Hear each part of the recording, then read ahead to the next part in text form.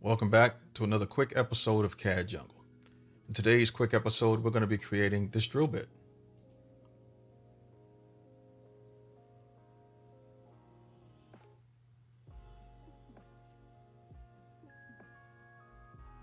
Let's hop right to it.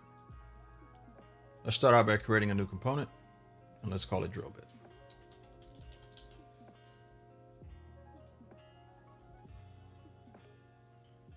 Let's start out by creating a cylinder. Starting in the center, make it 5.5 millimeters and 100 millimeters in length.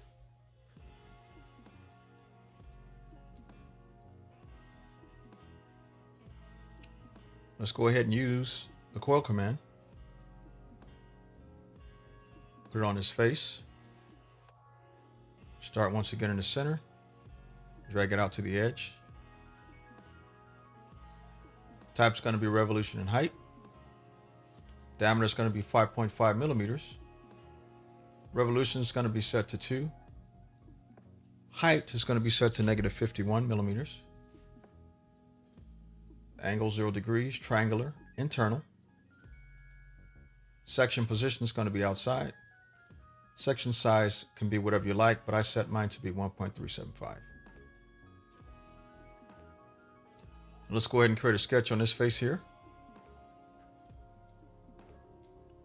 Start out with the center diameter circle. Let's bring it over to the edge here till we see the square lines into place. We're going to make this 4.5 millimeters.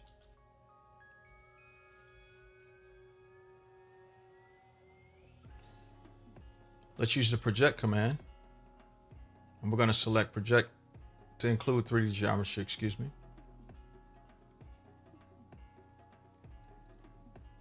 We can go ahead and turn off both bodies.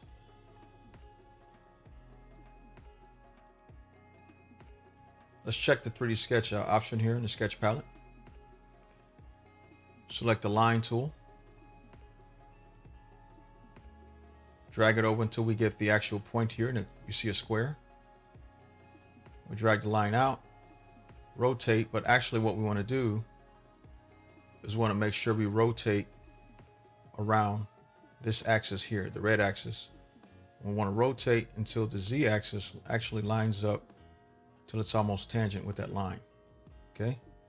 We'll drag the line out and as you can see, the line follows the blue dotted line. It's actually following the same path. We'll make this nine millimeters in length, type that in and hit enter. And next we'll use the tangent command. Select the line we just selected and the coil outline. We can go ahead and finish the sketch. Let's go ahead and bring back the top body, which is a cylinder.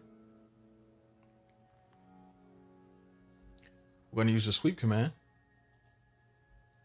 Select the of profile. The path is going to be the coil path, the outline, as well as the line we just created. The orientation is going to be parallel and operation is going to be set to cut.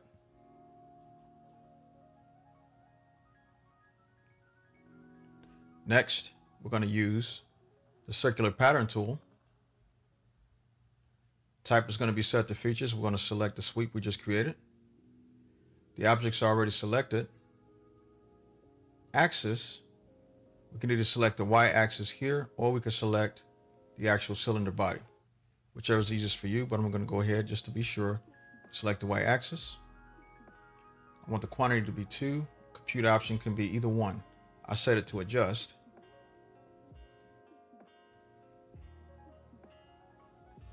Now let's go ahead and select the top view.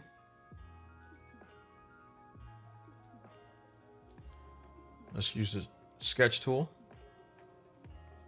Select the top face. Uncheck 3D sketch. Select the line command, construction type, start in the center and bring it up about so. Doesn't have to be any specific length. Turn off construction. We're going to use the line command again. We're going to make a triangle like so. Make sure it extends a little bit beneath. the drill bit.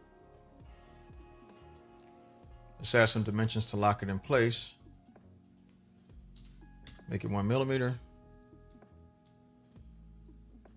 We're going to set this to be 60 degrees between these two lines. We're going to make this three millimeters and we can set this to whatever you like.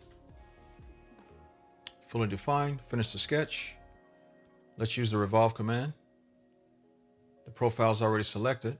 The axis we're going to select is going to be the construction line. Directions one side and operation is going to be set to cut. As you can see, it's red, which means it's going to be cutting into the actual uh, drill bit. Click OK.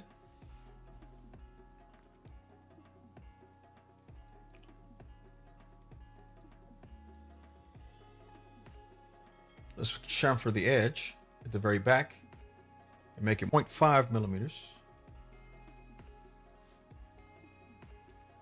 Let's give the entire drill bit a fillet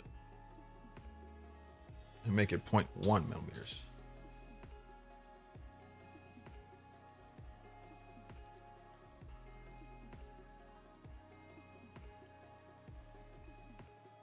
And that's your complete drill bit.